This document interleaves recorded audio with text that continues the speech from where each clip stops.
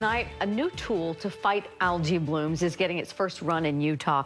And so far, the scientists behind it say they are getting breakthrough results. Yeah, they're closely watching the progress at Mantua Reservoir. And that's where new specialist Mike Anderson is live with a look at what this really means for water all across the state. Mike? Yeah, Mike, you know, they're calling this a breakthrough in water body restoration. You know, where they're able to take uh, big steps in removing that harmful green gunk from the water.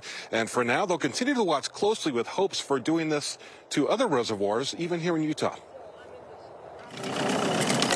A day at the lake can be relaxing, even just a short walk. I love it. It's close, and I don't know, I love the the scenery that's back behind it. Paxton Isom enjoys coming here from Brigham City, and he's seen it look not so great. That pea soup green that often comes in the warmer months. The end of the summer is usually when you see the most drastic changes with it. It's not only gross, but there's the harmful cyanobacteria that comes with the algal blooms.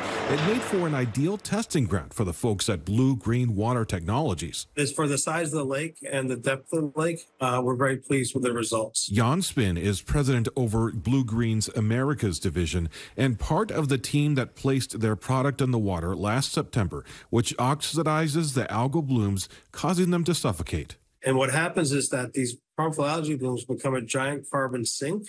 And by us sinking that carbon to the sediment level and then allowing it to go back into the natural processes, um, we restore the biodiversity, but more importantly, restore photosynthesis. Their scientists are watching closely, and so far, they see the results are pretty clear.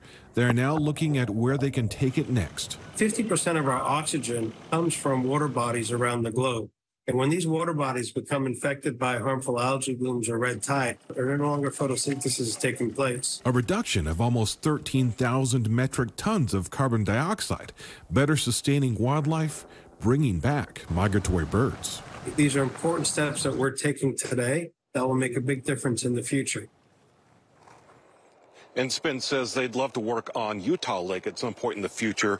Their treatments are free to the local governments as they work with uh, companies that need to become more carbon neutral to get them to sponsor the work. Back to you. Mike, the before and after difference in the color of that water is pretty amazing. Thanks.